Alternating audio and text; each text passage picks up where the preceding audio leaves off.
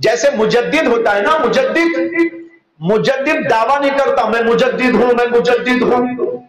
लोग पहचानते, उसके किरदार से, उसकी खिदमात से, उसके इल्म से, उसके दायरे की वसत से, इन चीज़ों को देखकर पहचाना जाता है। और लोग कहते हैं, यह है मुजद्दिद।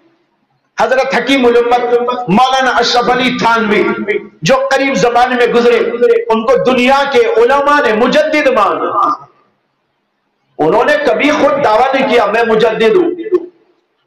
बल्कि उस जमाने के उलमा ने उनको पहचाना, उनके इल्म से, उनके तकवे से, उनकी खिदमत से, और जी, जो दीन की खिदमत उन्होंने की तजदीद दीन तजदीद दीन का क्या मतलब?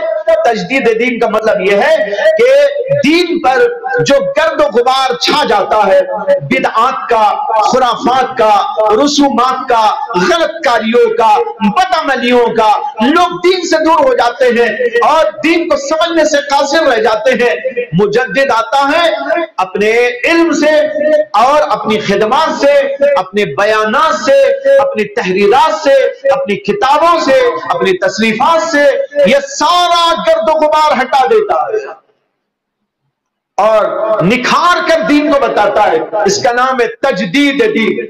जो तजदीद दीन करता है, उसका नाम है मुजद्दिद दीन। दीन का मुजद्दिद, यानी दीन के ऊपर के गर्द गुबार को हटाने वाला।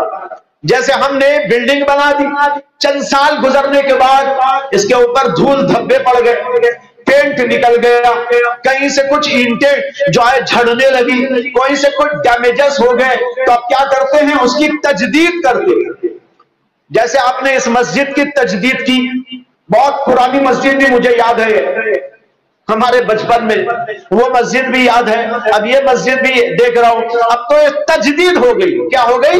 तजदीद, यानी असर नो इसको बनाकर, इसको निखारा गया। इसको कहते तजदीद। इस तरह जो मुजद्दिद होता है, वो दीन की तजदीद करता है। क्या मतलब? उसके गर्द गुबार को हटाता है। उसकी पेंटिंग पर जो गर्द गुबार चढ़ गया, उसको हटाकर उसकी रौनक को दिखाता है। साफ़ सुथरा दीन, प्यारा प्यारा, जो नबी सलाम लेकर आए, वो लोगों के सामने ज़ाहिर कर देता है। उसको मुजद्दिद कहते हैं।